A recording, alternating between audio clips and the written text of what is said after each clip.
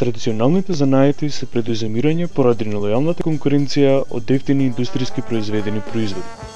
Разбирањето на пазарот, кој станува се по-конкурентен, е се потешко и покомплексно.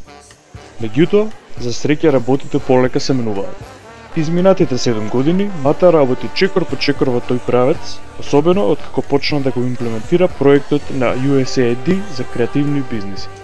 За подобро да ја објасниме работата на овој проект, во ова видео ќе ви покажеме што се е потребно за да се стигне од идеја до креативен производ спремен за продажба. Една од компонентите на овој проект е поврзување на креативните занетчи со дизајнерскиот потенцијал. Тоа се случува во текот на комплексниот процес на развој на производи, кој помага да се премости јазот помеѓу производителите и пазарот помага да се разбере потребата за адаптирање на стари производи или потребата за создавање на нови. Процесот почнува со генерирање на идеја, која подоцна се преточува во концепт.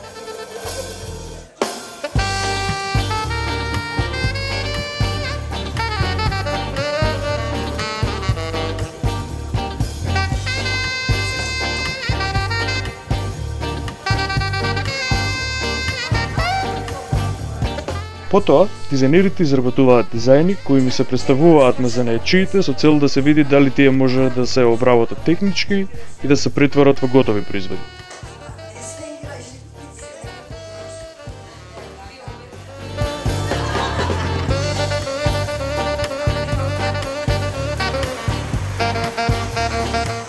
Како еден дизајн ќе биде прифатен, патот до готовиот производ продолжува во работилницата на производителите, каде заедно со дизајнерите работат на изработка на така наречени мостри или првични примероци.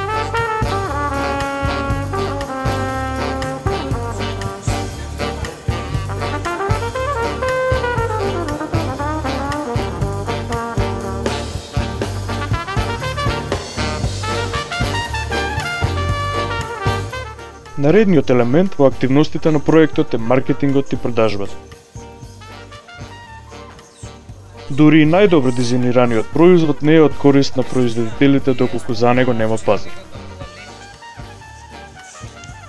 Затоа, Мата става фокус на креирање на производи за локалниот пазар, како и креирање на врски на истиот.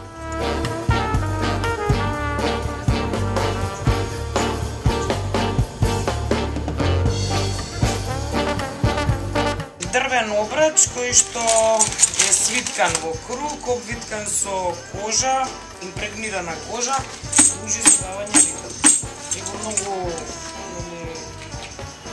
народи и музики се потребува, но е многу традиционално за овие простори, така? Тоа е еден елемент кој што се наоѓа на камени плочи, каде што игра орецот, еве ќе приметите, јас го разработив, има поголема рака и е малку искривен, но сака да каже дека е коловодецот и дека е, главниот во играта и во семејството и во селото дури.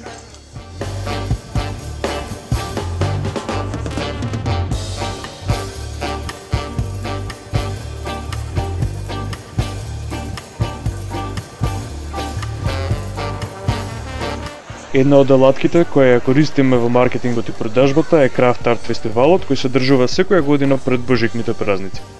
Овој саем на традиционално произведени производи е исклучително успешна алатка затоа што во предпразничниот период има особено бројни можности за продавање и промовирање на производите на занаетчиги. Последната фаза е секако комерцијализацијата на готовите производи, која почнува со нивното тестирање на различни промотивни и продажни настани, како што и Craft Art Фестивал.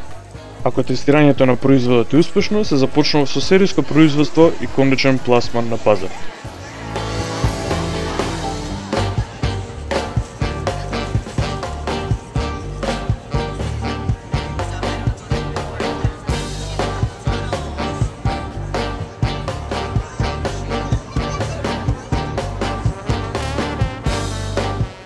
Доколку сакате да дознаете повеќе за Мата и за проектот на USAID за креативни бизниси или едноставно сакате да знаете како да стигнете до некои од интересните производи кои беа прикажани во ова видео, посетете на на www.matacraft.org.mk